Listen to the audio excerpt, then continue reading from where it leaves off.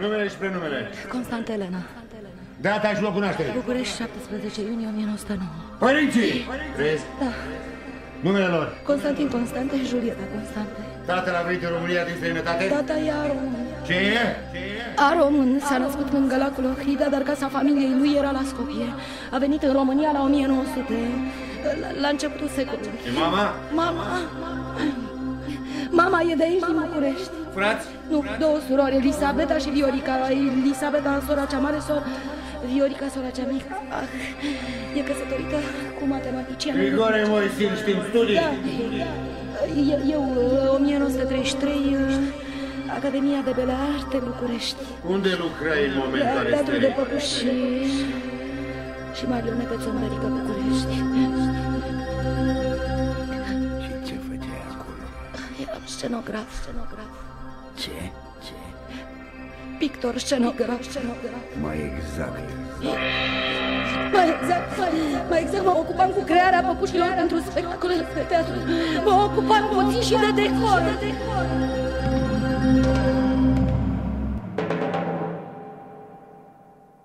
Iertarea crimelor ori moartea.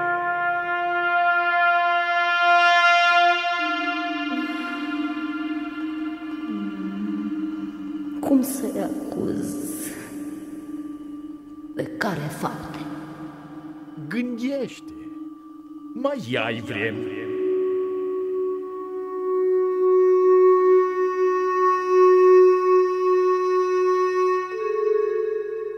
E bine să spui tot adevărul. Cuvintele pot orice. Pot orice. Anchetatorul nu se putea mulțumi cu răspunsurile mele.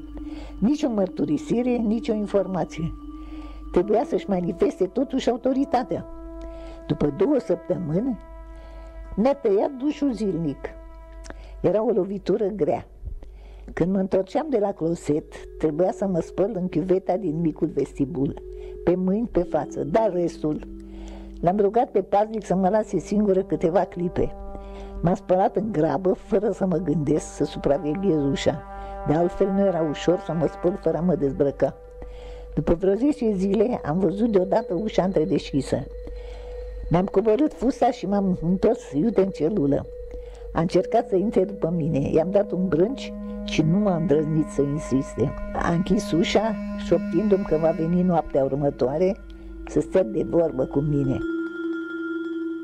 Toate cele zile nu mi-au lăsat decât o amintire confuză. Aproape că am uitat celula, scara, biroul. Pe omul acela nu l-aș mai putea recunoaște.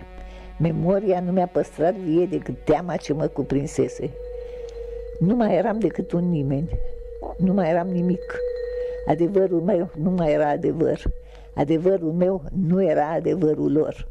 Dar care era adevărul lor? Mi-a trebuit vreme multă pentru a înțelege.